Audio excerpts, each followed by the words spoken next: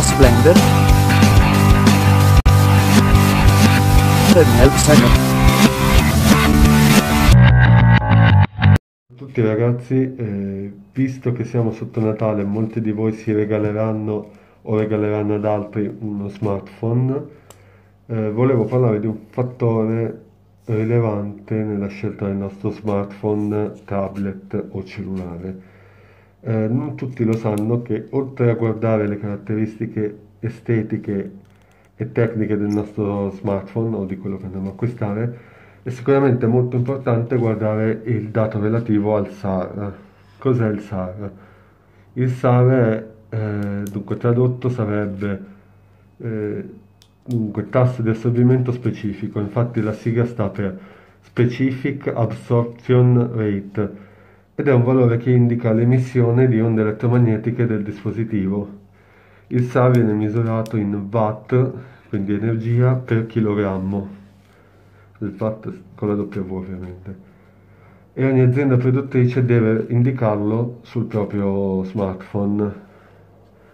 Infatti, due comitati per le comunicazioni, la FFC, la FCC che è americana e la CNL che è europea, hanno indicato che il valore massimo di questo dato sia 1,6 watt per chilogrammo.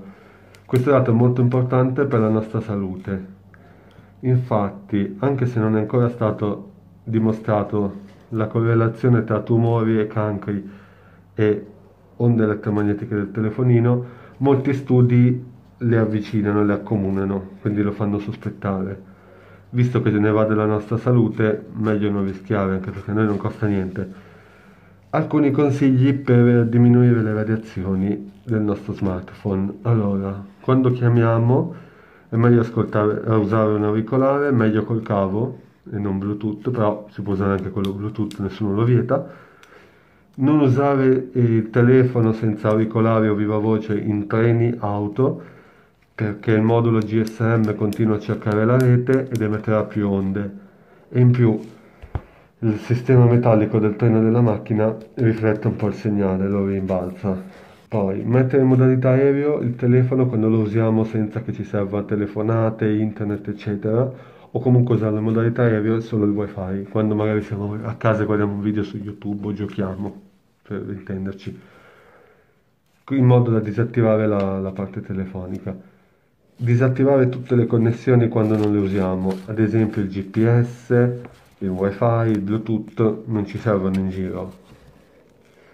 Disattiviamole, ricordiamoci questo dettaglio.